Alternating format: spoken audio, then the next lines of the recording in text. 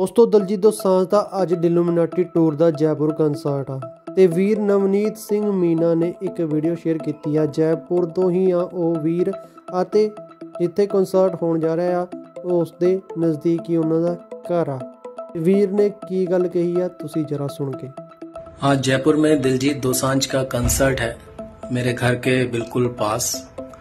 ਔਰ ਮੇਰੇ ਯਹਾਂ ਸੇ ਕਈ ਲੋਕ ਜਾ ਵੀ ਰਹੇ ਇਨਫੈਕਟ ਪਾਸਸ ਵੀ ਅਵੇਲੇਬਲ ਹੈ मुझसे जिम में किसी ने पूछा भी कि आप चलोगे मैंने कहा नहीं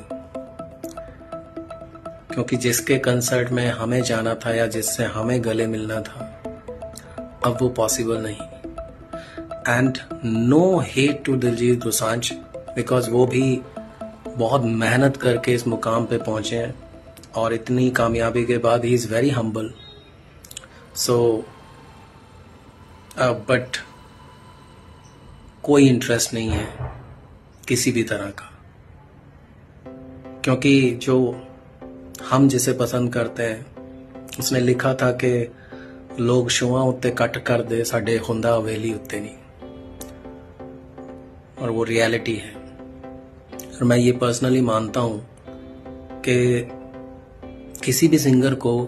किसी भी इंडस्ट्री में किसी भी सेलिब्रिटी को लोग रिप्लेस करते हैं बट सिद्धू भाई इज़ नॉट रिप्लेसेबल वो जो करके गया या उसकी कलम ने जो लिखा या उसने जैसे जिंदगी जी वो कोई और नहीं कर सकता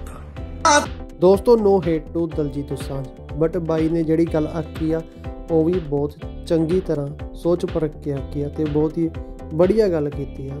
ਵੀ ਇੱਕ ਇਨਸਾਨ ਨੂੰ ਮਿਲਣ ਦਾ ਚਾਹ ਸੀ ਤੇ ਉਸ ਦੇ ਲਾਈਵ ਕਨਸਰਟ ਦੇਖਣ ਦਾ ਚਾਹ ਸੀ ਤੇ ਹੁਣ ਦੋਸਤੋ ਇੱਕ ਸਿੱਧੂ ਮੂਸੇਵਾਲੇ ਦੇ ਫੈਨਸ ਦੇ ਲਈ ਹੋਪ ਜਾਗੀਆ ਹੋਲੋਗ੍ਰਾਮ ਸਿੱਧੂ ਮੂਸੇ ਦਾ ਟੂਰ ਹੋਵੇਗਾ 2025 ਦੇ ਵਿੱਚ ਕਨਫਰਮ ਹੋ ਚੁੱਕਿਆ ਹੈ ਹੋਲੋਗ੍ਰਾਮ ਬਣ ਕੇ ਵੀ ਰੈਡੀ ਹੋ ਚੁੱਕਿਆ ਹੈ ਸੋ ਖਿੱਚ ਲਓ ਤਿਆਰੀ ਸਿੱਧੂ ਮੂਸੇ ਦੇ ਫੈਨਸ ਅਤੇ ਦਲਜੀਤ ਦੋਸਾਂਝ ਨੂੰ ਵੀ ਸਪੋਰਟ ਕਰੋ ਆਪਣਾ ਹੀ ਪੰਜਾਬੀ ਭਰਾ ਹੈ ਤੇ ਪੰਜਾਬੀਆਂ ਦਾ ਨਾਮ ਰੋਸ਼ਨ ਕਰ ਰਿਹਾ ਹੈ ਧੰਨਵਾਦ